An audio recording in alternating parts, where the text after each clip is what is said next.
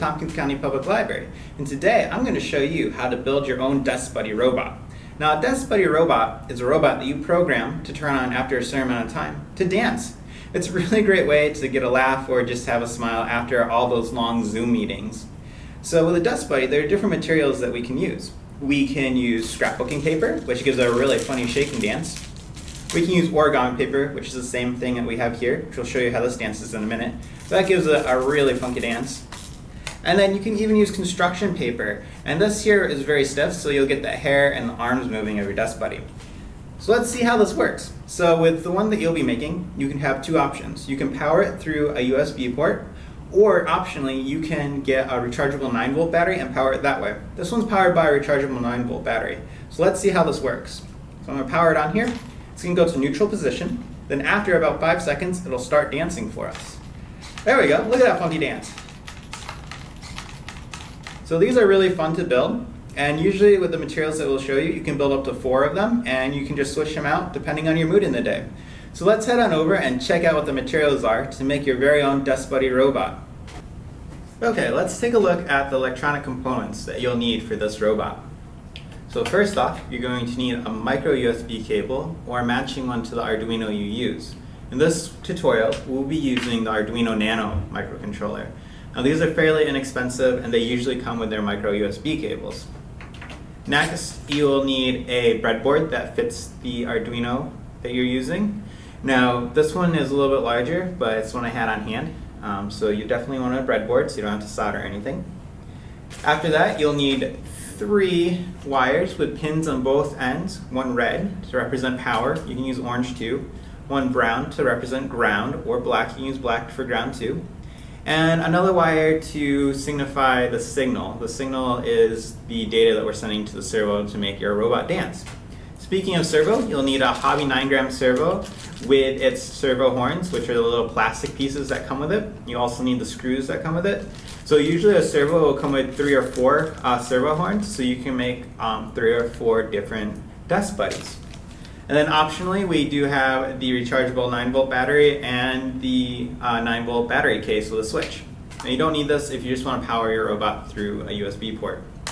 Now that we have those, after that we'll talk about the tools here. So a good tool to have is a nice plastic nipper or a wire cutter. This will help cut any of the pipe cleaners. After that, we'll use a ruler.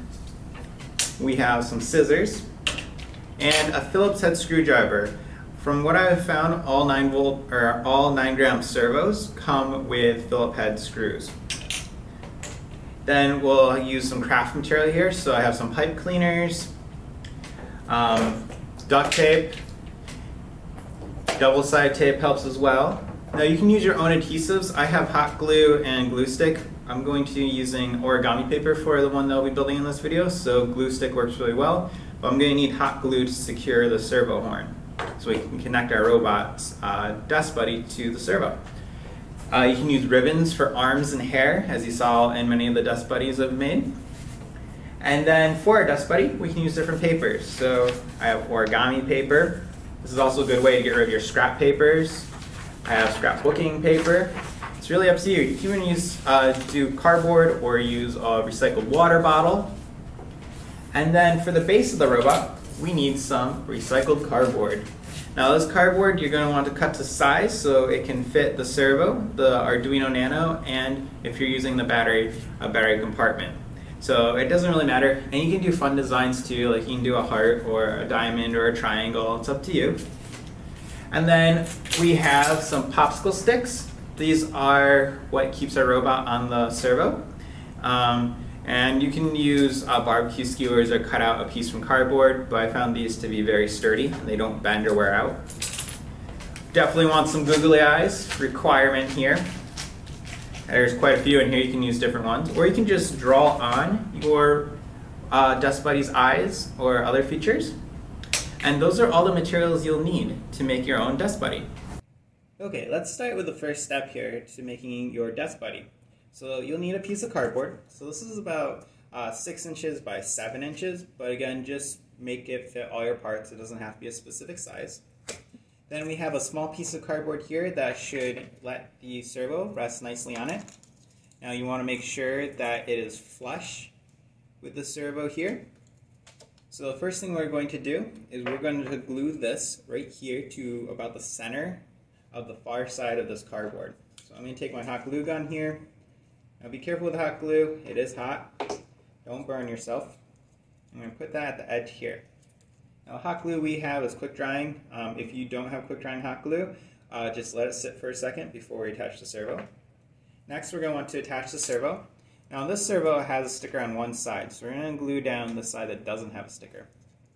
Now if you ever wanted to reuse these servos, you can just put some rubbing alcohol on the um, glue and it will release it. So we're going to center that. Now if you notice here, it's nice and flush with the edge. This uh, gear here is not behind the cardboard. That's very important That's not. So we're going to let that sit there, and we're going to push the wire out to the side here. Next, what you're going to want to do is you're going to take your breadboard. Now your breadboard should have adhesive on the back, and we're going to peel that off. And we're just going to place that uh, right here in the middle. Now we're going to take our Arduino Nano, and we're going to plop that right in the center, okay? Now, depending on which side you want this to sit for your desk buddy, make sure the USB is pointing that side. So I want my desk buddy to be facing me like this. So I'm going to plug it in so that way the cord will go right to my laptop. So just give it a nice firm press. Now this might take a few seconds to get in. Uh, don't force it, whatever you do, just be gentle and firmly press it in. There we go. Now we want to make sure there's about equal sides to each side of the Arduino. And I'll show you a close-up of what the Arduino looks like because it's pretty tiny. But there's one side with A and a number, and the other side has D with a bunch of numbers. Just make sure they're equal. Now that you have that, we're going to wire up the servo. So you're going to take your red wire here that has both pins on it, and we're going to attach that to the input here that has a red wire. So see the red wires in the middle? And I believe most servos have their power wire in the middle. Next, we're going to take our ground wire, which would be brown or black, and we're going to plug that into the ground wire, which is the brown or black wire. And then we're going to take our signal wire, which can be any color, and we're going to plug that in with the orange wire. Now, this brown wire on your Arduino Nano will be plugged in on a pin that says GND. There's many pins with GND, so it doesn't matter which one you do. So I'm going to put it over here. So that way I can just wrap that down later. This is going to go to the 5 volt pin, which is on the opposite side. And then this here I'm going to put on the pin D3 for digital 3. Okay? Now, of course, we'll show you a close-up of this uh, wiring schematic in the video, so that way you can look up nice and close. Now that you have that, all we have to do is program the servo to be in its neutral position. So we're going to head on over to a laptop and show you that right now. But what a neutral position of the servo is, is 90 degrees. So that way your robot's um, desk buddy stands straight up and down. Because a servo goes between 90 and 180 degrees, or 90 and 0 degrees. So 0 being over here, so it would go over here to 0, and then it would go back to center at 90, and then it would go to 180 over here.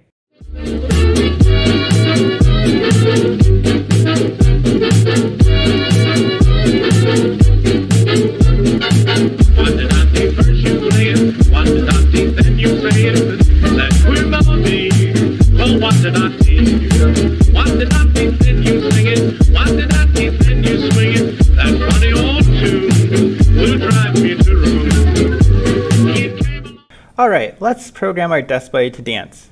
Now to do that, you'll need to have the Arduino IDE program. Now in the description of this video, I've included a link to where you can download it. I've also included a link to a tutorial that shows you how to download it and how to connect your Arduino to it. So if you've gone through that part, let's start. So go ahead and attach your Arduino to your computer and let's start writing some code. So the first thing what we're going to do is we're going to go above void setup here. So I'm going to click up there and hit return. And we need to use the library. So in the Arduino C++ coding language, there's a bunch of pre-made code stored in many different libraries. So for this code, we are going to use the library servo.h. Now .h stands for header. If you're interested in header files, head over to the W3 School website and take the tutorial on C++. So what I'm going to do is hashtag include Then we use the arrow here, and I'm going to say servo with a capital S dot H, and you notice it turned orange there. And I'm going to close this up with another um, arrow.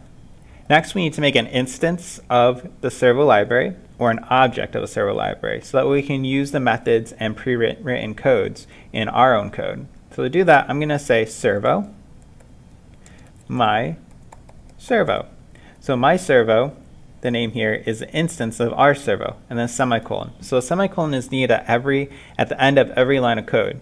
So think of a semicolon as a period at the end of an English sentence, while semicolon is a period at the end of a coding um, sentence. So we have our instance of our servo. Now we need to let our um, computer, our microcomputer here, or our microcontroller, know where that servo is. So to do that, we're going to first make a variable. Now a variable is just a container that stores a value and has a name. And every time we use that name in our code, it knows that it has that value. Now, when we make a variable, it has to have a type, a name, and that value. So I'm going to say int for integer. So we're using a whole number, so we're going to use the type integer. And I'm going to name it D3 after the pin that I attached it to. And then I'm going to set it to using the set to operator, not the equal sign. In coding, an equal sign is two equal signs. In coding, one equal sign is the set to um, operator. So we're going to set this to the value of 3. So now every time we use the word D3, the computer knows that there's a 3 stored there. So now we're going to move into void setup, and this is where we're going to end this first code. We're going to actually overwrite this code later, but right now what we want to do is put our servo in a neutral position so we can attach our light buddy. So underneath this comment, so a comment has two slashes, and in this programming language, if the computer sees two slashes, it ignores it as plain white space. So underneath here, what I'm going to do is type servo, or my servo, sorry, my servo, so the instance we made, dot and we're going to use the dot to signify that we are using some pre-written code known as a method. Dot attach. And then inside the parentheses here, I'm going to say D3. So now our microcontroller knows that at the D3 pin, we've attached a servo. Next, I'm going to make the servo go to its neutral position. So I'm going to use the dot write method, which allows us to move the servo through our code to a different angle. So if you remember, our neutral angle is 90 degrees. So I'm going to do my servo dot write, and then I'm going to type 90, and then I'm going to put a semicolon. So now that we have that code done, we're going to verify that this will work. So we're going to hit this check mark up here. Now if you haven't saved your file already, it'll pop up asking you to save your file here. So now that we have that, what we are going to do is go to Tools and attach our Arduino Nano to our computer. So I have mine attached to COM6 or port COM6. If you have multiple um, USB devices attached, sometimes it'll show up here. So you might have to switch them out if the code doesn't upload. Next, you have your processors. Now, depending on which Arduino Nano you've purchased, if you purchased a cheaper one, it will most likely use Arduino Atmega 328P old bootloader. But the one that I have here uses the new one, so Atmega 328P. So if it doesn't upload, try switching out one for one of these processors. And if it really doesn't upload, make sure that you check to make sure that Arduino Nano is um, selected. So now that we have that, what I'm going to do is hit the upload button. Now it's going to compile the code again. And then you'll see down through here that's uploading. And when it says avrdude done, thank you, you know it's been successful. And I just heard my servo kick on. You'll hear the servo kick on real quick and go to its 90 degree position. All right, so we have that. Let's move on to the next code and overwrite it so we can make our Light Buddy dance. All right, let's add on to this code so we can overwrite the original code that we set up here. So our Light Buddy, or our Desk Buddy or Light Buddy will be able to dance for us. So to do that, what I'm going to do is use some pre-written code known as delay. So delay is a pre-written function that pauses our microcontroller for a certain amount of milliseconds. So to do that, we're just going to type delay, and it should turn orange. And then for three seconds, I want to pause for, so that would be 3,000. Then after that, I want our robot to dance for a certain amount of time. So to do that, I'm going to use a for loop. Now a for loop just iterates up or down depending on the number you set. So to do that, I'm going to type for, parentheses, int i, i for iterator, and I'm going to set that to 0.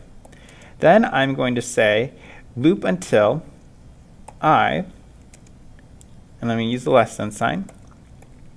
So I'm going to loop until i is equal to or greater than 10, and that's what this says here. And then in order to add and change our variables value, um, every time we loop, I'm going to do this here, i plus plus, which will change the value that's stored in int by 1. That's what the plus plus stands for. Next, I'm going to do two curly brackets. Now, if you do one curly bracket and press enter, it'll make a second one in the Arduino IDE. So everything within these curly brackets here will be repeated. Same as you see with the void loop, everything within these curly brackets here will be repeated forever. So now that we have that, we're going to program our Desk Buddy to dance. To do that, I'm going to add another delay. So I'm going to do delay, and I'm going to delay for about half a second, so 500 milliseconds. Then I'm going to do my servo dot write, and I'm going to go to 70 degrees. Don't forget the semicolon. Then I'm going to delay again. And I'm going to do 500 milliseconds. And then I'm going to say my servo, I'm going to go to the other side here, dot write 110. Now let's do 120. That'll be a nice swing.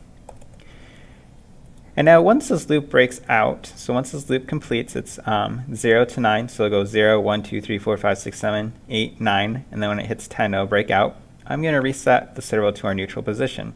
So we can just copy this here and change its value. So outside the curly bracket here, I'm going to set this back to 90. So now that we have this, so what this dance will do is make the robot rock back and forth. Now if you go on to the Arduino website, there's plenty of tutorials on how to control a servo. So if you want a nice slow swaying dance, you can look up how to iterate uh, servo smoothly. Um, but I'll leave a link to that in the description as well. But this here will just make it shake back and forth and do a crazy jig. So let's upload this code to our Desk Buddy. So to do that, let's just verify that everything's good. Now we have a error here. Now it says expected before the for. So what I misplaced here is the semicolon. Let's see, where did I miss the semicolon? Ah, yes, I missed the semicolon um, right here with delay 3000. So it's the expected before for. So go up to the for and then add a semicolon. Now let's verify to see if that worked. And there we go. Now if you see that with a curly bracket here, that just means that we accidentally deleted this one down here. So let's add another one there. But everything looks good. So let's upload it and see if it works. So I'm going to upload to our Arduino. Now if for some reason it doesn't upload, just go back into tools and make sure everything is connected properly. Ours uploaded here and it's running. Okay, so now that we have that, let's attach our light buddy or desk buddy and watch it dance. Okay, now that we have the electronics sorted out, let's make a desk buddy. So what you'll need is a piece of paper or cardboard or a plastic water bottle. And this piece of paper here is a 6x6 piece of origami paper. Now what I'm going to do is take some glue stick and give it a healthy helping of glue along one side here and roll it into a cylinder. So I'm just going to go like that. And then I'm going to take this and roll it into a nice cylinder. And then we'll just hold that and let that dry for a second. Now we should have a cylinder here for our desk buddy. And I'm going to decorate it. So I'm going to take some googly eyes. So I'm going to do just one very large googly eye. I'm going to take some hot glue here and glue that on. Hot glue seems to make googly eyes stick really well. So I'm just going to put a nice little bit of hot glue. Again, be careful, hot glue is very hot. And I'm going to attach that right to my desk buddy. Now ours is quick drying hot glue again. So it should cool quite fast. Um, if it's not quick drying, let it cool a little bit before you stick your finger in there and press it down. Now that we have that, I am going to add a cool face using some pipe cleaner. So I'm just going to bend this into a fun shape. It can be any shape you like. So I think something like that is cool, and I'll make him a smiling desk buddy. And then I'm going to take some hot glue again, and I'm going to just glue on the smiley face here. This one you might want to bend and curve a little bit, and then just press that down nice and firm, and pop it back out. And there we go, we have a face on our desk buddy. Now the next step is to add some funky hair. So for that, I got some ribbon. So I'm just gonna cut a few strands here. Do that. And the more random, the more funky it is. So that's cool to do, just do some random cuts. And then what I'm going to do is I'm going to glue it in like that with some hot glue. So I'm going to cross it over in the middle like that, or roughly the middle. So again, ours cools fast, so with your hot glue, make sure it cools a bit before you do this with your finger. So we're just going to do that. Now it's nice and crossed over. I'm going to take that side, and I'm going to glue it to the inside here, the top inside of our desk buddy. So we're going to take the hot glue again, do a dab, and we're going to just press fit that right on in. It looks like my hot glue didn't dry quite enough. So if you have this issue with your um, eyes popping off, what you can do is take your screwdriver and just lightly uh, scratch it up in the back, and this will give you some grip. Just be careful you don't pierce the paper. So the googly eye won't work as a googly eye. So let's put some more glue there and then we'll press fit that back in. Now remember, to let it cool first. Let that dry. Now if you have these strands, this is a good time to pull off all the hot glue strands while it's drying there. And now we're going to add some fun little arms. So I'm going to grab some more ribbon. So I have this cool yellow here. And what I'm going to do is just going to cut little hoops. So one and two here.